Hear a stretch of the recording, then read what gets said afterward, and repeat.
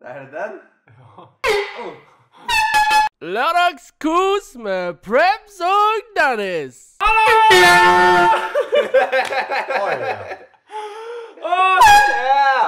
da, det holder nå! For noe drit. Veldig, veldig god plass i sofaen. Det er faktisk litt deilig nå. Vet dere hvorfor? For det er Dennis som kjører!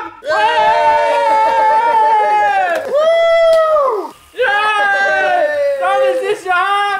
Så derfor feirer vi Jeg vet ikke hva vi feirer. Ja, vi feirer jo at han ikke er her. Slutt nå, det holder! Snakk om kontroll.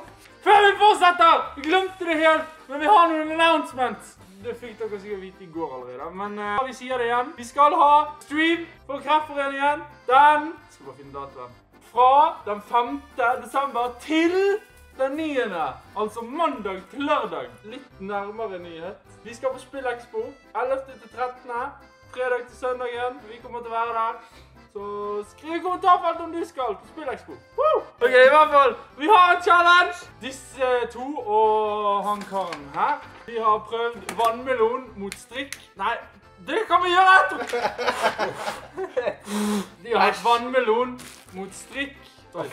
Så det jeg tenkte i dag, var at vi skulle prøve strikk mot alt mulig rart. Så jeg har spurt dere hva burde vi ta strikk rundt. Vil hodet mitt sprekke?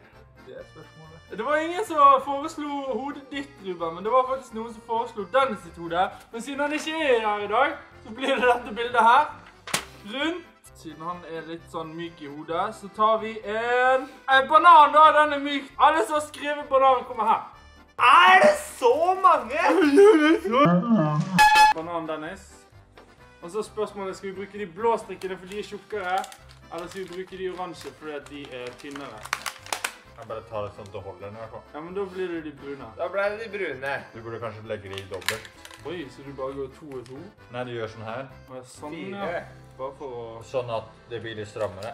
Fordi en banan er ganske liten. Men vil vi si at Dennis på en måte holder igjen denne bananen? Dennis holder oss igjen. Ja, men siden vi la Dennis på utsida, så jeg på en måte får en ekstra beskyttelse. Da får vi bare ta flere, da. Se på trynet hans, da! Ja, han ser litt sånn bulgy ut. Sånn eh, Ja, ja, det går definitivt innover der, da. Jeg tror hele det greiene her blir på en måte å se Can it break?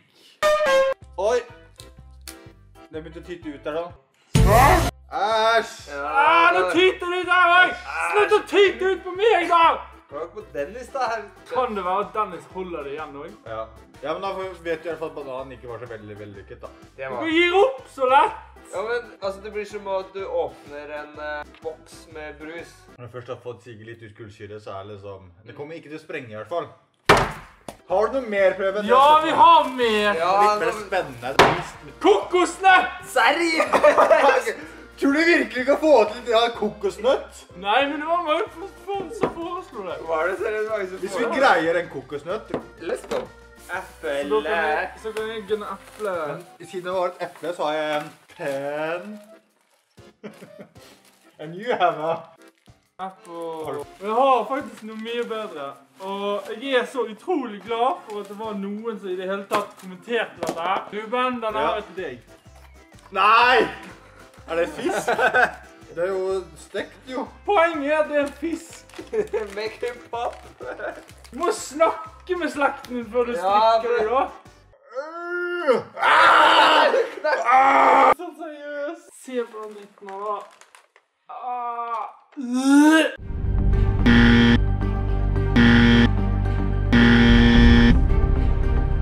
Vi ett siste håp? Oi! Det? Så vi kan prøve ananas, da. Jeg nekter å si det poenget hans. Pineapple! Kanskje!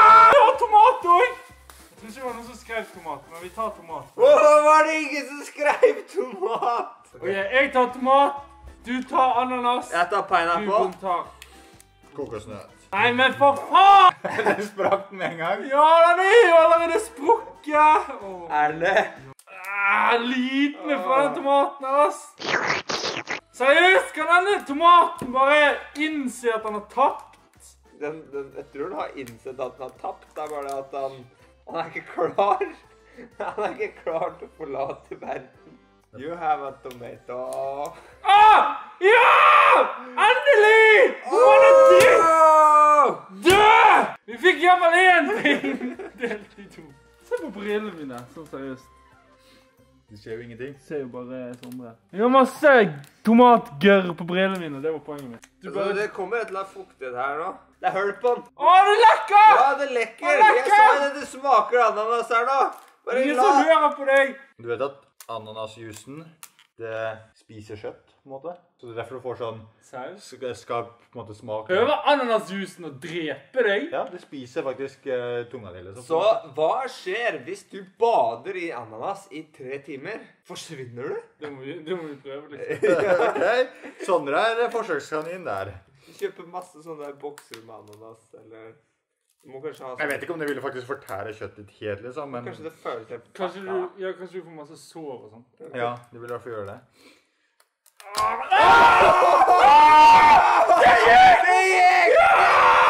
Ja! Vi greide det! Ja! Pineapple! Pen... Nei, lys-ting. Skal vi se. Litt. Det gikk! Det er klart! Og det var lørdagskos! Pineapple apple pen. Takk for at du så på! Trykk like på denne som ikke var her. Eh, kommenter hvis du har en utfordring. Husk, Spillekspo 11.-13. november. Og så mer info om livestreamen kommer, men det blir altså andre uken i desember. Vi gleder oss. Takk for nå!